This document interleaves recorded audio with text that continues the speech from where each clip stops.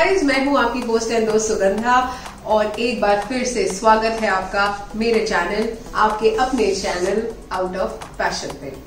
Party special snacks या festive special snacks पे आज जो रेसिपी हम कवर करने वाले हैं, वो है fish fingers it's a very simple recipe और फ़िश की जगह आप चाहें तो बोनलेस चिकन भी यूज़ कर सकते हैं। तो चलिए शुरू करते हैं हम बनाना फ़िश फिंगर्स ये आप सर्व कर सकते हैं किसी भी अपने फेवरेट डिप के साथ में, चाहे वो टाटर सॉस हो चीजी डिप हो, या हॉट सॉस हो।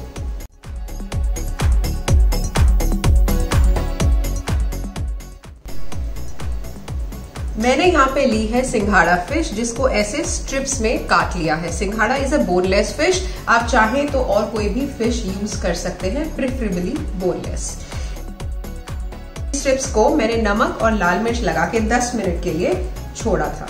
अब हम चलते हैं नेक्स्ट स्टेप नेक्स्ट स्टेप के लिए मैंने इस डब्बे में तीन टेबलस्पून कॉर्नफ्लावर और तीन टेबलस्पून मैदा लिया है और इसमें हम अपने फ़िश फिंगर्स को कोट करेंगे।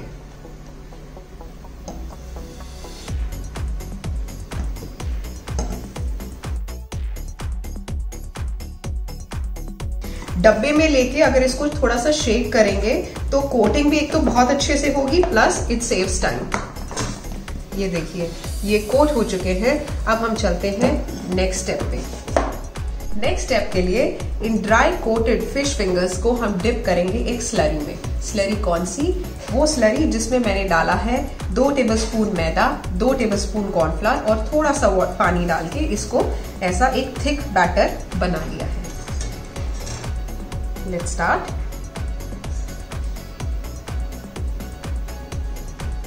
coat it in the breadcrumbs.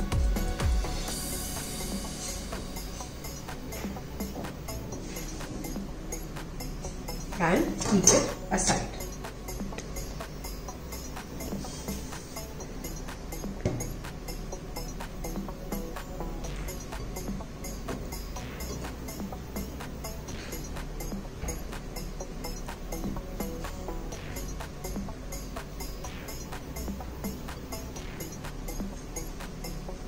ये कोटिंग देगा बहुत ही क्रंची और क्रिस्पी लेयर हमारी फ़िश फिंगर्स को।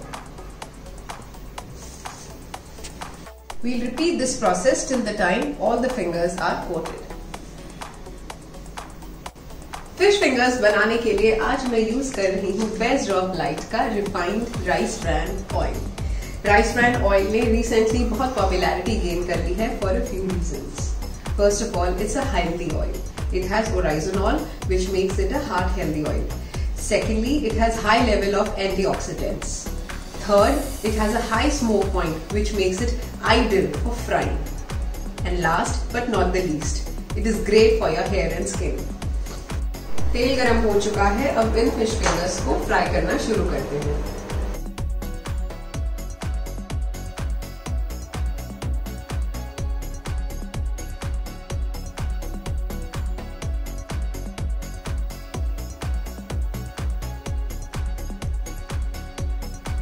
फ़िश को पकने में बहुत ज़्यादा टाइम नहीं लगता है। We'll fry for just five to six minutes और till the time they turn golden brown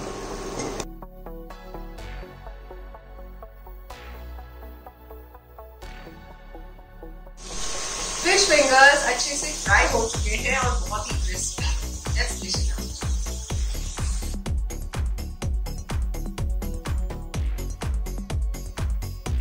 Fish fingers are ready. These are crisp and crunchy from outside and very juicy and succulent from inside.